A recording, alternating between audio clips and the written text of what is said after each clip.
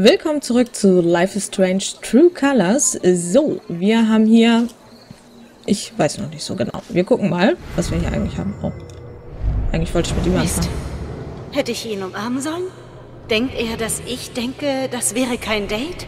Falls das ein Date ist, ist es ein ziemlich stilles. Ja? Oh je. Hätte ich kein Parfüm benutzen sollen? Trägt es zu dick auf? Vielleicht war es auch nicht genug. Oh, sie kriegen den Dreh eines Tages raus. Oder auch nicht. Ach, weißt du, bei Parfüm gilt weniger ist mehr. Finde ich zumindest. Okay, gut. Ähm, ja, so viel dazu. Ich wünsche den beiden viel Erfolg. Ich weiß nicht, geht das hier noch weiter? Finden wir hier noch mehr? Haben wir hier noch was? Weil da hinten standen ja auch noch Leute, ne? Ich sollte mich vor der Show noch mit Ryan abstimmen. Ja, das machen wir, aber erst später. Ich will mich hier jetzt erstmal umgucken. Oh, Ich habe Mac schon eine Weile nicht mehr gesehen. Seine Lage hat sich nicht verbessert. Ich habe alles gehört.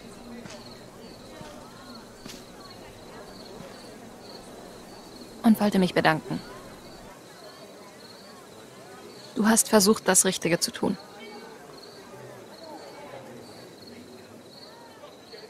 Und? Was jetzt? Ich mache Typhon fertig. Das gesamte Wespennest. Ich stelle mich nicht gegen dich. Aber die sind die einzigen, die gerade für Jobs in der Stadt sorgen. Und ich habe noch einige Schulden.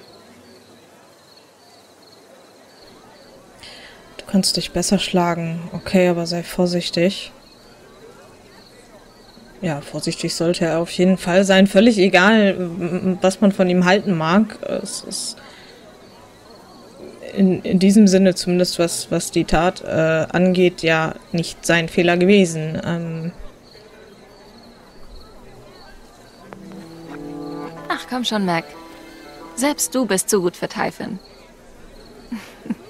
Ich fühle mich jedes Mal geschmeichelt, wenn du dich so um mich sorgst.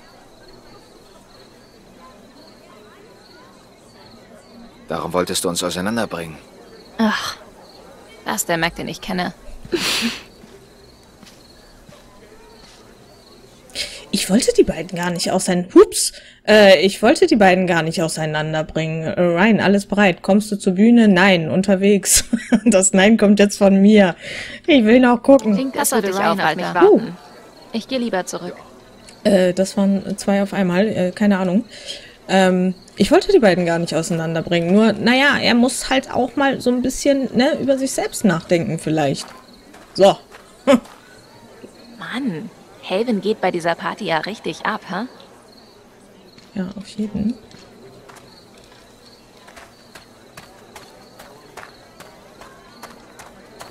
Ist jetzt natürlich auch die Frage, was ist hier? Ein random Quadbike geparkt vor einem Haufen Betrunkener. Was kann da schon schiefgehen?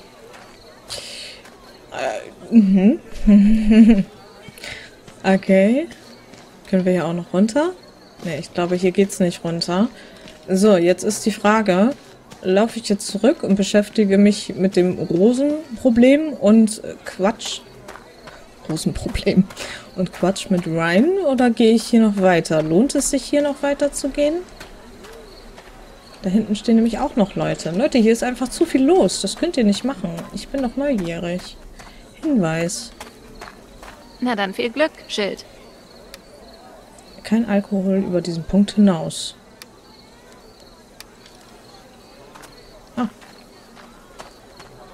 Okay, also.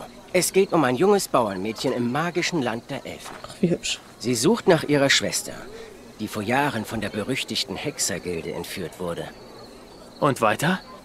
Und unterwegs trifft sie ein paar Söldner. Aber es sind keine gewöhnlichen Söldner, sondern kriminelle Elfen und untote Priester. Sie finden die Schwester. Aber die ist inzwischen die hohe Hexerin der Gilde. Und sie bedroht das ganze Königreich mit ihrer krassen Magie und so. Und Sie müssen sie töten. Oder? Keine Ahnung. Total das Dilemma. Wie Shakespeare trifft Tolkien. Ich sag dir, sowas wollte ich schon immer mal schreiben. Mann, einfach unglaublich. Klingt, als wärst du endlich wieder inspiriert. Von wegen Inspiration. Danke, Steph. Ich musste nur mal Dank dir habe ich endlich wieder richtig Spaß daran. Ethan scheint nicht der Einzige zu sein, den das Lab heute inspiriert hat. Okay, sehr schön. Ist das nicht der Nah gewesen? Weiß ich jetzt aber gerade nicht so ganz genau, ehrlich gesagt. Aber ich glaube schon. Finden wir hier noch mehr? Wir gehen irgendwann zu Ryan zurück. Sieht aus, als wären noch echt viele Leute in der Stadt unterwegs. Ja. Nein, Mom, es ist kein Notfall. Mir geht es gut. Oh. Typhon ist nicht normal. Typhon ist echt. Es war ein Fehler herzuziehen. Alter, hau ab, solange du noch kannst. Ja. Du weißt doch von unseren Verschwiegenheitserklärungen. Ich habe drüber nachgedacht und. Kannst du mal mit Onkel Rick reden? Er soll mal prüfen, ob das legal ist. Okay. Nein, Gut. Dann gucken wir uns mal weiter um. Vielleicht finden wir ja noch mehr. Anscheinend gibt es hier ja noch mehr, was man finden kann. Weiß nicht, vielleicht könnte ich das auch später machen, aber naja, was soll's. Morgen, große Eröffnung. Suppe und Salat gratis für Frühlingsfestteilnehmer. Kommt vorbei und schaut euch um. Ich bin froh, dass jemand den Diner wieder eröffnet. Cool. Möge das beste Kleinstadt-Diner gewinnen. Große Neueröffnung. Das Braunbär Diner eröffnet nächsten Monat unter neuer Leitung. Wir freuen uns darauf, Ihnen Essen zu servieren. Äh, Ich nehme ein Coupon. Es gibt keine Coupons. Sag mir einfach deinen Namen. Ich erinnere mich schon. Okay. Alex Chen. Alex Chen. Haben wir uns heute nicht schon unterhalten? Nö? Mann, ich bin so dumm. Druck Coupons aus, hat sie gesagt. Ich merk mir das schon, hab ich gesagt. Totale Selbstüberschätzung. Naja, du könntest ja was auf MyBlog posten. Für einen Kommentar gibt's einen Rabatt. Gute Idee, Kleine. Viel Glück damit. Bei der großen Eröffnung darf nichts schiefgehen. Die Leute werden nicht ewig nachsichtig sein. Vielleicht ja doch. Mit kostenlosem Essen kommt man in Haven weit. ja, das wird schon werden. Ach, wisst ihr was? Wir gucken uns hier jetzt noch um. Vielleicht finden wir ja auch Riley. Das wäre bestimmt auch noch ganz interessant. Tja, wir haben es versucht. Ach nein. Hör auf damit, alter Griesgram. Noch läuft das Eiscreme-Geschäft.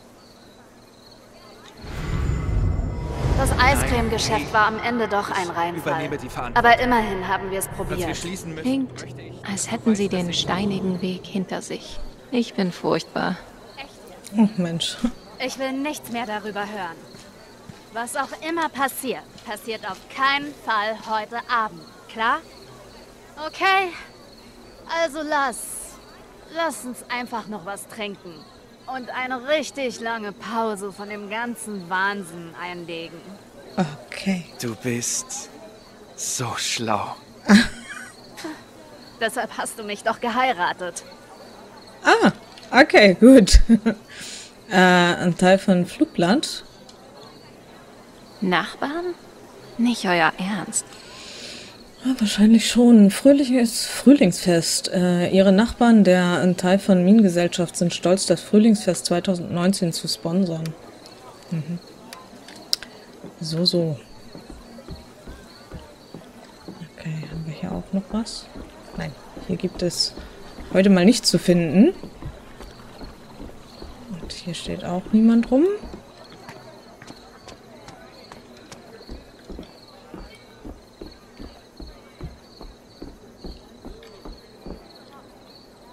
Können die Black Lantern.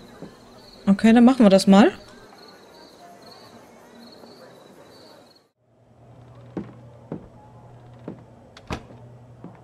Klingt, als würde Ryan auf mich warten. Ich gehe mal lieber Nee, raus. du bleibst jetzt erstmal hier drinnen und wir gucken uns jetzt erstmal hier um. Was es hier so gibt. Ich liebe diesen übergroßen iPod. Äh, benutzen. Äh, warte mal. Äh, Jets Krone. Es hat Spaß gemacht, Jet als Bösewicht zu sehen. Ein guter Verlierer. Wir sind hier ja bestimmt nicht umsonst, oder? Das hat doch bestimmt Sinn, dass man hier rein kann. Jet hat ihn für seine Stammgäste gekauft. Und sich selbst, denke ich mal. Hm, Ja, das kann gut sein.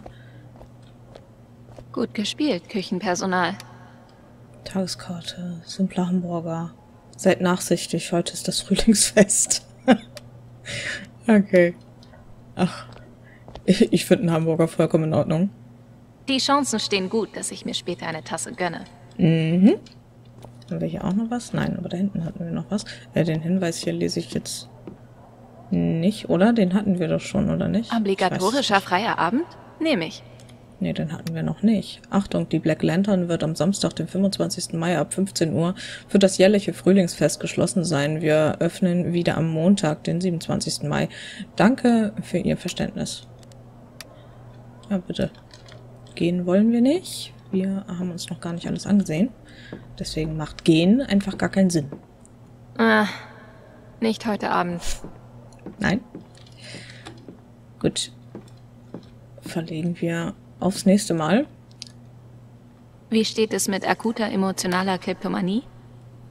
Was? Dr. Wer auch immer, äh, Tonikum, exzellente Behandlung von Schlangenbissen, Zecken, Flöhen, Wunden, Gemütskrankheiten, Bläschen, äh, Senilität, Ablutophobie. Aha. Okay. Hm. Hm, Hoch können wir nicht. Eleanor ist wie ein Mafiaboss. Aber statt krumme Dinger zu drehen, verbreitet sie Blumen. Ja, ist das nicht schön? Ach. Da sitzt ja Ducky. Äh, aber ich will mich hier erstmal umschauen. Hey, du hast mir nicht zu sagen, was ich tun soll. Äh, ja, ja. Haben wir hier hinten noch was? Bild. Wird eine lustige Nacht. Stimmt. Okay. Komm schon, Junge, bring's hinter dich. Ich... Ich muss nicht kotzen. Du wirst dich danach viel besser fühlen. Ich... Ich sterbe, Ed. Nicht heute Nacht, Geburtstagskind. Obwohl du es dir morgen früh bestimmt wünschen wirst. Guter Junge. Okay. Ja, lecker. Da hat Ryan anscheinend äh, et- etwas zu tief ins Glas geschaut. Nun gut, dann gucken wir mal weiter.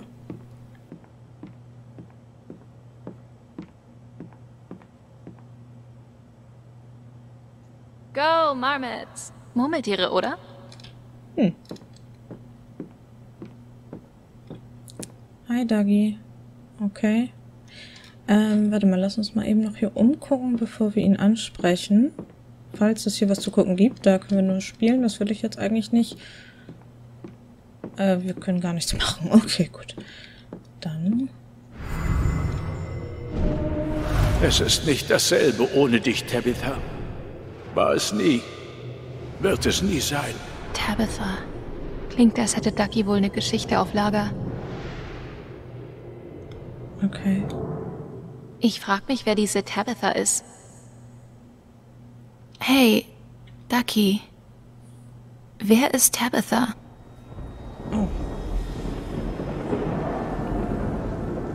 Willst du mir von ihr erzählen? Weißt du, Alex, über dieses spezielle Thema möchte ich wirklich nicht reden. Okay.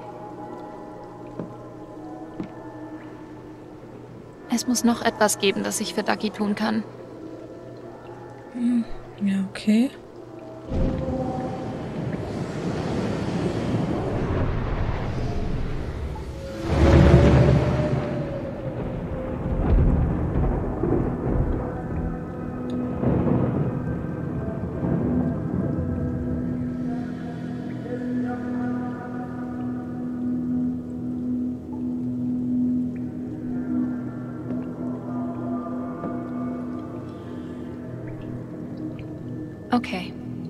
Sag mir, was ich wissen muss, um ihm zu helfen. Gut, dann schauen wir mal. Weißt du, den habe ich selbst geschnitzt. Ich bin Reginald McAllister der Dritte. Meine Freunde nennen mich Ducky. Tabitha Baker. Nenn mich Tabs. Mhm. Gut, ich nehme mal an, dass... Ich weiß nicht, seine Frau? Haben wir hier noch was? Ich sehe zumindest gerade nichts. Aber irgendwo gibt es bestimmt noch etwas zu sehen.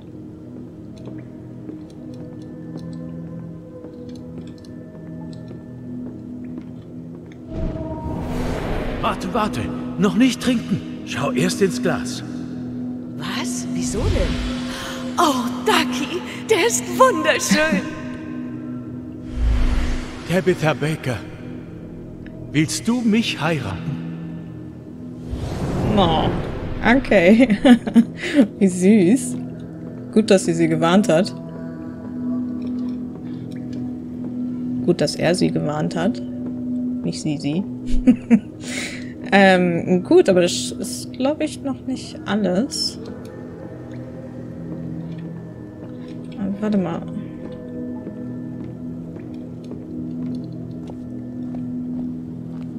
Box erstrahlt. Ah. Alles Gute zum Jahrestag. Auf die nächsten 30 Jahre. Und weitere 30 Feste. Falls wir es schaffen. Ducky, du wirst die ganze verdammte Stadt überleben.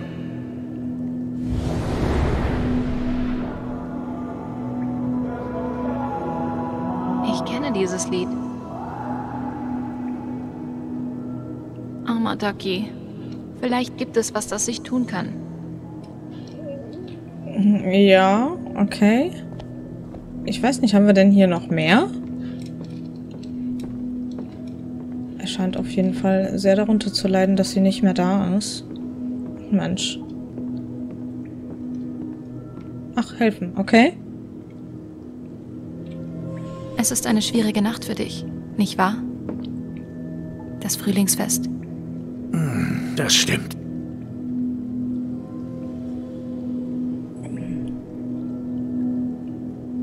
Du hast Tabitha hier kennengelernt. Stimmt's? In der Lantern. Ja, genau. In dieser Nacht hier zu sein, war der größte Glücksfall für mich. Äh, Frühlingsfest? Das Frühlingsfest war sehr wichtig für euch beide, oder? Allerdings, wir haben auf dem Fest geheiratet. Wir beide haben es so geliebt. Okay, jetzt haben wir hier noch Holzbär und Tanzen. Ich hoffe, ich komme zu beiden. Oder ich weiß nicht.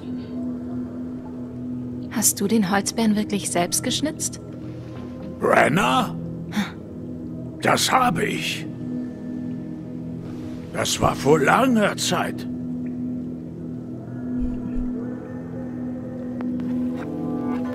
Gib mir einen Moment.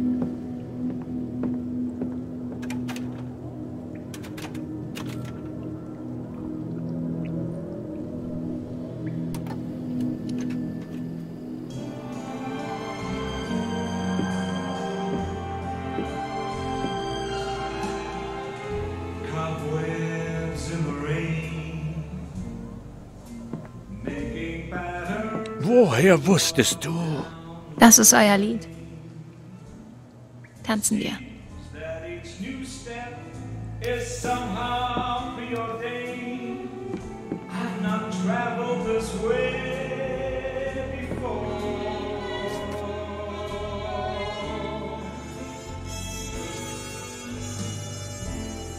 Rainbows in the sky, sing forever.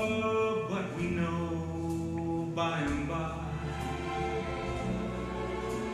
that they fade just like some dreams passing by. Love seemed like that before.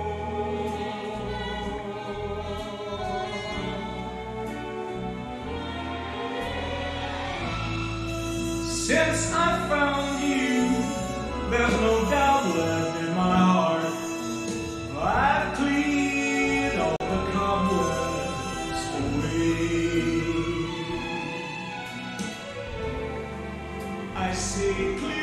Weißt du, was mich gerade am meisten an sie erinnert? Es ist weder der Song noch das Frühlingsfest, sondern dass du dir die Zeit nimmst, dich um einen traurigen alten Mann zu kümmern. Und das nur, um die Welt ein wenig erträglicher zu machen. So wie Tabs.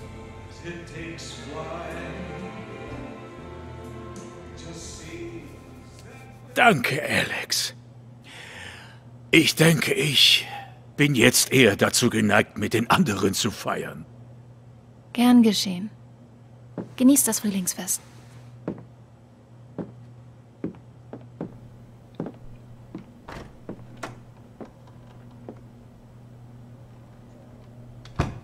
Klingt, als würde Ryan auf mich warten. Ja, ja. Ich gehe mal lieber raus. Okay, ja, schön, dass wir ihm helfen konnten. Das freut mich. Ähm, und ich würde sagen, äh, ich werde den Part, also ich werde hier jetzt gleich erstmal rausgehen und damit wird der Part dann auch mal wieder enden. Und im nächsten Part, ich weiß nicht, ich würde mich, glaube ich, ganz gerne noch ein bisschen hier in der Stadt umschauen, weil ich nicht weiß, wie weit ich komme, wenn ich jetzt äh, Ryan anspreche. Ähm, genau, und dann schauen wir mal. Ich danke fürs Zusehen. Tschüss.